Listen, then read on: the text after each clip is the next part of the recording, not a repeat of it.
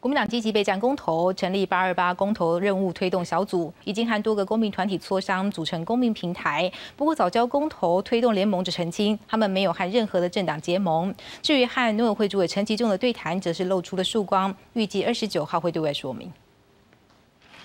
八月二十八号即将举行公民投票，届时渴望有四项公投进行，包括重启核四、真爱早教以及反来猪与公投榜大选。国民党积极备战，成立八二八公投任务推动小组，由党主席江启臣担任召集人，执行长是立委林维洲。二十六号举行首场便当会，定调将于四月十号启动系列活动，力拼冲出五成投票率。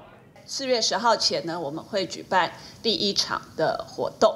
就是展开这一系列的宣导，那希望可以达到由内而外、由下而上整体的这样子的一个宣导的效果。传出国民党要串联公民团体合作推动公投，二十五号已经和多个公民团体磋商，组成公民平台，要与政府正面交锋。不过早教公投推动联盟撇清声明，没有与任何政党结盟，也没有与会。倒是农委会主委陈其仲透露，八号与环团对话虽然喊卡，但学界搭起的对话平台让沟通露出曙光。昨天是没有参与这个会议，那会前也没有接到这样的通知。我们不认为说。啊，单独跟哪个团体呢？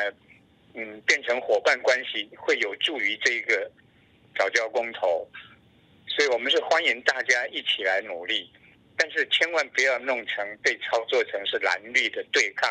透过学术界要在中心大学举办论坛，我想经济部还有相关单位以及我本人都会全程的参与。我们希望透过这样的对话，找到。一个可以寻求双赢的这个方案。双方何时展开对话？早教公投联盟预计二十九号对外说明。至于三十号的论坛，潘中正并未受邀。随着公投日逼近，民进党内部压力也升温，要不要提出反制公投，或是全力动员反对，目前还在讨论。我们应该要呃坦然去面对所有的一个政策说明，而不是随着国民党因为党主席的选举而用所谓的政治操作随之起舞。